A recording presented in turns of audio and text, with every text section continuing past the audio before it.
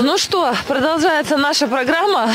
Фаиль в красной куртке, красный унитаз. Что мы будем делать, Фаиль, рассказывай. Сегодня мы исполним мою давнюю детскую мечту или желание, что ли.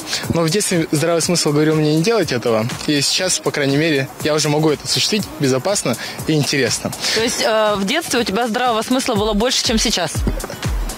Нет, почему? Я бы так не сказал. Сейчас я скажу, что у меня больше практики, и я больше знаю, как бы с другой стороны, как сделать что-то безопаснее. Что мы будем Вот. делать? Что Сегодня я хочу такое? рассказать вам про гидроудар, или более, скажем, шире, гидродинамический удар. А точнее, расскажем и покажем силу воды. Для начала простой эксперимент. Я беру стеклянную бутылку Так. и резиновый молоток, киянку. Вот стеклянная бутылка, она очень, ну, крепкая, я вам скажу, да, выдерживает давление. И берем классический молоток. Вот он. Сейчас я ударяю по бутылке, и что произойдет? Ну, я думаю, что она, возможно... А, донышко отлетит. Нет? Да Я не знаю, ну, пустая бутылка, давайте проверим. наверное. И один, два, три. А, ничего не произошло. Да ничего не происходит. Еще сильнее. Ничего. Хотите, можете даже сами ударить. Ничего. Но ничего не произойдет. Но если в эту бутылку добавить совсем чуть-чуть воды, буквально миллилитров 100-150, вот сейчас я как раз таки это и сделаю. Так. Так, Вот, хорошо. совсем чуть-чуть воды добавил. И если мы теперь ударим по этой бутылке, то вода, которая не успеет догнать эту бутылку, потом догонит дно бутылки и со всей своей силой выбит это дно. Это в Под- теории. Подожди, я сделаю вот так. Давай. Это, это в теории, конечно. А сейчас мы проверим на практике. Три. Ударяем ровно. И... Идеально. Получилось. Ну, оно действительно получилось идеально, я согласна. Осколков. Ровно у нас выпало дно. Вот можно как пазл теперь собрать. И оп. А теперь тоже... А, в чем здесь принцип-то? А принцип у нас в том, что у нас с вами вода не сжимается. И на этом основаны многие механизмы, я вам даже скажу, с помощью воды, которые работают. Сейчас... Секунду, я надеюсь, что у нас сейчас на экране есть, да, не повторять. И мы напоминаем всем детям, что все то, что сейчас вы видите на экране, абсолютно запрещено делать без взрослых. А а, и даже не просто взрослых, а тех, которые знают, как это делается. Все верно. Теперь, в чем же изюминка сегодняшнего эфира? Это наш с вами красный санфаянс.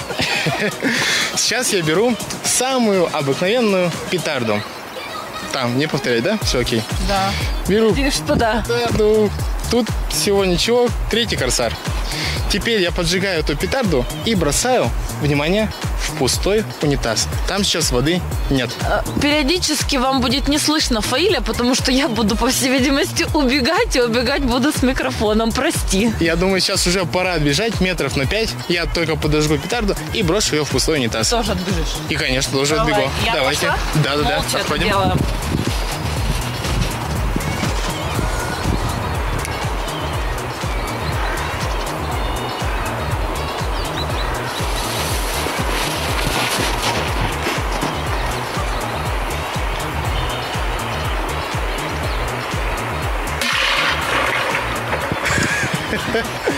Мне на самом деле было очень страшно. Я до последнего волновался, но, видим, все правда. Поскольку у нас воздух амортизировал этот взрыв, с унитазом ничего не случилось. А теперь проверяем действительно давление, а точнее еще проверим закон Паскаля. То, что у нас давление во все стороны распространяется одновременно. Сейчас я заполняю унитаз водой. Ну, знаете, как там заполняется вот этот водяной замок.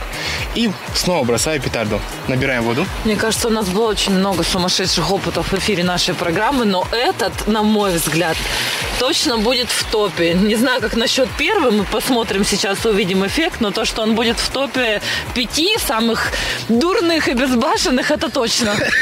Все верно. Вот, сейчас я набрал в унитаз воды. Там вода. Видно водяной замок, да, который не пускает запах из канализации. Можно, кстати, это подснять. Вот стандартный э, классический, классическое устройство унитаза. Видите, да? Не сочинили, не придумали он.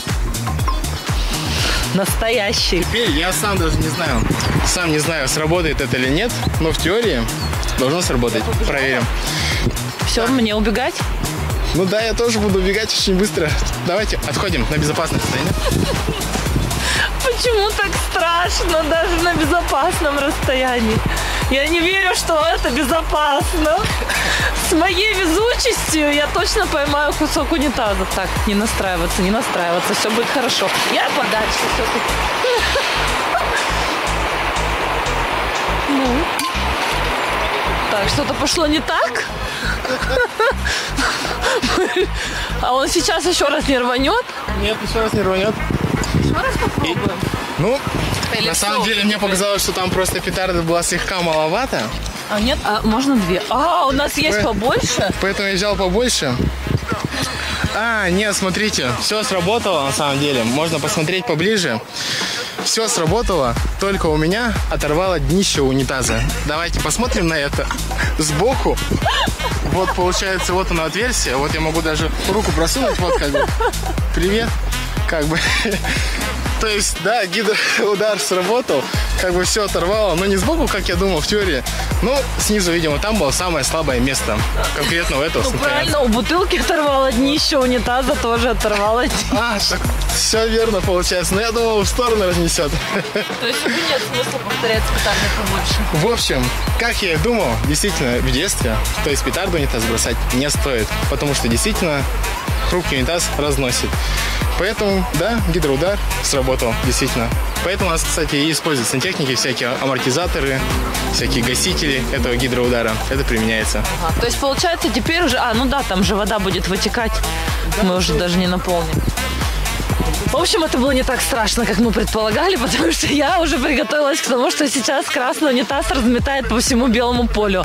Но, к счастью, этого не произошло. Поэтому я надеюсь, мы дали вам бодрости сегодня на весь день и хорошего настроения. Еще раз напоминаю, не повторять этого без людей, которые разбираются и понимают, что они делают. Повторять в особых местах под названием Да. Ньютон Парк.